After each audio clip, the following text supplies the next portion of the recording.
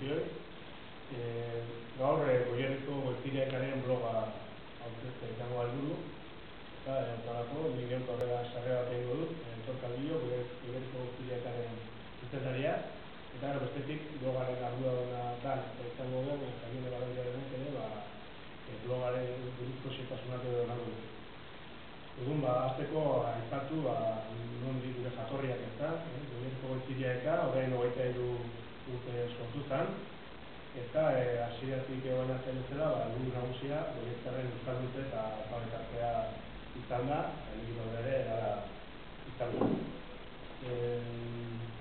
hasiera batean, ba, gara hartan, ba, ba, bueno, euskaltegiak tope izaten dituen, e, e, modan zegoen gara hartan e, euskera ikastea, e, ordutegi guztietan izan taldea, maia guztietakoa, eta hogeita urte hauetan, ba, bilakera bat eman da, eta batetik, ba, euskaldun nahi zuena, alfabetatu nahi zuena, euskaldun alfabetatu da, eta e, e, gaur egun, ba, ikastetxek egiten duten lan oparoa aitzaki, ba, ba, bueno, ba, gure lana bere, ba, jaitsi, jaitsi indarko izateke, eta